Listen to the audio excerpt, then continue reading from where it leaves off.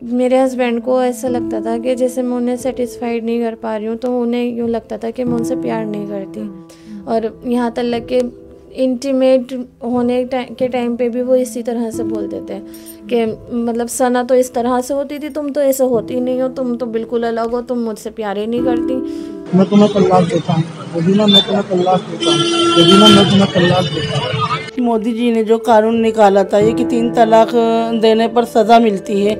तो हमने तो इसी बिहेव पे हमने और वो करा है कि किसी और लड़की की ज़िंदगी बर्बाद ना हो। वहाँ पर अगर कोई और लड़की आएगी ना तो उस लड़की को मतलब सिर्फ़ नौकर ही बना के रखा जाएगा, बस वहाँ। नमस्कार, मैं रिया और आप देख रहे हैं झलको दिल्ली। अभी इस वक्त हम लोग मौजूद हैं दरियागंज में।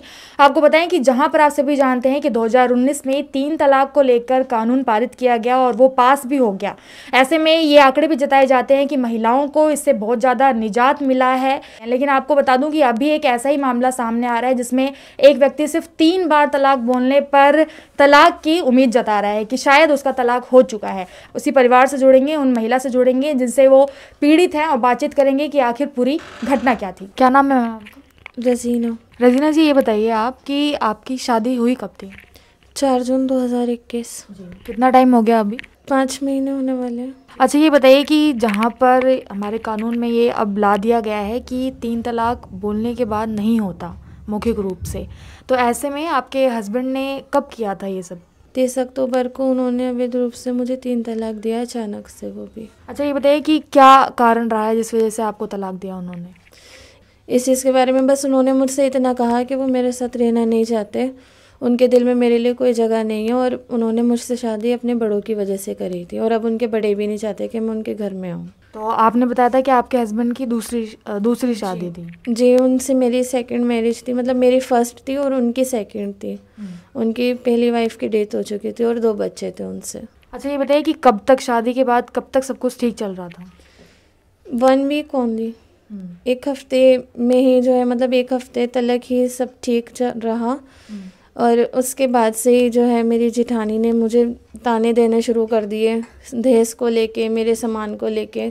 छोटी से छोटी चीज़ पे जो हर बात पे मुझे ताने देते रहते थे और मेरे जेठ भी बहुत परेशान करते थे और मेरे हस्बैंड मुझे बहुत टॉर्चर करते थे। क्या कहा करते थे?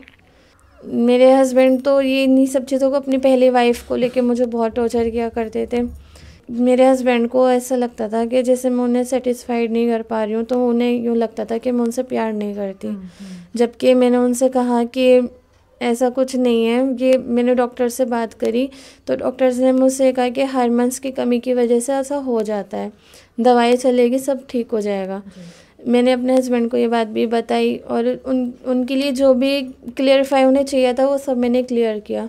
लेकिन फिर भी उसके बाद भी उन्होंने मुझे समझ में नहीं आया कि मुझे उन्होंने इस तरह तलाक क्यों दे दिया। जी। अपने जो पहली बीवी से वो कंपेयर करते थे वो किस तरीके से किया करते थे? हर चीज़ में यहाँ तक कि मेरे बालों से मेरे रंग से मेरी पर्सनालिटी से और हाँ मेरे मत यहाँ तक कि मेरे घर वालों से भी कि मैं अपने वहाँ पे सना के घर जाता था तो सना मेरे लिए ये करती थी वो करती थी और तुम्हारे यहाँ तो मुझे वो रिस्पेक्ट नहीं मिलती। तुम हेल्थ में ऐसी हो सना मेरे बराबर की स्थिति बिल्कुल सना इतनी अच्छी थी सना सबका ख्याल करती थी सना ये करती थी तो तलाक वाली बात कहाँ से छिड़ी और कब हुआ ये? तलाक वाली बात ये हमारी उनतीस अक्टूबर को हमारी वहाँ पे पेशी थी कमला मार्केट में। तो वहीं बाहर उन्होंने मुझसे कहा कि रजीना ठीक है जो कुछ हुआ उसे भूल जाओ। हम लोग अपनी ज़िंदगी नई तरीके से शुरू करते हैं और तुम घर पे आ जाओ। ठीक है केस वापस ले लो यहाँ से। तो मैंने क्या ठीक है, जब आप समझ रहे हैं बात को, आप मेरे साथ दे रहे हैं कॉपरेट करें ठीक है? तो फिर हमने वहाँ से कॉम्प्रोमाइज़ कर लिया। वहाँ पे हमने लिखित रूप में दे दिया कि हम एक दूसरे के साथ रह रहे हैं और खुश हैं और कोई परेशानी नहीं होने देंगे अब ये मुझे। तो वहाँ से आने के बाद अगले दिन सुबह को मैंने इनको मैसेजेस करे। क्योंकि मुझे लगा था कि अब हम जाएँगे तो मैंने मैसेजेस करे उनसे बात करने के लिए। तो फिर उसके बाद उनकी रिप्लाई आया कि उन्होंने मना कर दिया। मैसेज। पे ही मना कर दिया कि मैं नहीं रह सकता, तुम्हारे साथ मेरे दिल में कोई गुंजाइश नहीं है। तो फिर मेरी बहन ने कॉल पे बात करी उनसे तो उन्होंने कहा, ठीक है, मैं अभी बिज़ी हूँ, मैं तो मिल नहीं सकता। अभी तुम एक काम करो, यहीं आ जाओ, जहाँ वो काम करते हैं कबूतर मार्केट पे। उन्होंने वहीं बुलाया तो फिर हम वहाँ पे गए तो उन्होंने कहा, देखो, मैं नहीं रहना चाहता। इनके साथ में मेरी शादी मेरे घर वालों की वजह से हुई थी। इतनी देर में कोई बात करते, कुछ भी करते, उन्होंने मुझे जो है तलाक बोल दिया। वहीं खड़े खड़े। वहीं उन्होंने खड़े खड़े के लगे, देखो, रजीना, कुछ नहीं हो सकता। मैं तुम्हें तलाक देता हूँ। रजीना, मैं तुम्हें तलाक देता हूँ। इस तरह उन्होंने तीन बार बोल दिया। जो महिलाएँ, जैसे आज भी तीन तलाक की वजह से इस तरीके के माहौल में रह रही हैं, उनके लिए क्या कहना चाहेंगे? देखिए ये तो आजकल के टाइम में क्योंकि ये दोनों तरीके से है। औरतों के लिए कुछ औरतें इस चीज़ को यूज़ कर रही हैं और कुछ नहीं कर रही हैं क्योंकि कुछ लोग इसको लेके बैठ जाते हैं कि हो गई तो हो गई अब छोड़ो अब तो क्या कर सकते हैं। कुछ इस चीज़ का फ़ायदा इस तरह भी उठा रहे हैं कि हाँ वो अपने घर वापस चली जाती हैं अपने हस्बैंड के साथ रह रही हैं। उनके हस्बैंड उनके साथ कॉम्प्रोमाइज़ कर लेते हैं कि नहीं हम लोग साथ रहेंगे तो वो उनके साथ ही रह रही हैं। लेकिन मैं अपने हस्बैंड को सज़ा दिलवाना चाहती हूँ। मैं चाहती हूँ कि जो उन्होंने किया है ना वो दूसरा किसी के साथ ना हो और ख़ास तौर से उस घर में तो किसी और के साथ ना हो। मैं तुम्हें तलाक देता हूँ। रजीना मैं तुम्हें तलाक देता हूँ। रजीना मैं तुम्हें तलाक देता हूँ। रजीना जो हो गया सो हो गया। और अब रही बात आने की तो मैं आपके साथ ज़रा सा भी मेरा अंदर से मन नहीं है कि मैं आपके साथ रहूँ। ना मैं आपको अब लाना चाहता यहाँ पे। और बात सुनिए मेरी। आप जैसे चाहोगी मैं वैसे आपको छोड़ने को तैयार हूँ। ठीक है कोई बात नहीं तुम उसकी यादों में रहना है। तुम्हें जैसे रहना है तुम वैसे रहते रहो मैं तो छोड़ूँगी नहीं तुम्हें ठीक है? मैं तो लूँगी नहीं डिवोर्स अच्छी बात है इसीलिए तो हमने कानून की मदद मांग रहे हैं कानून में वो कर रहे हैं। तो वहाँ पे भी ढीलम ढाली हो रही है।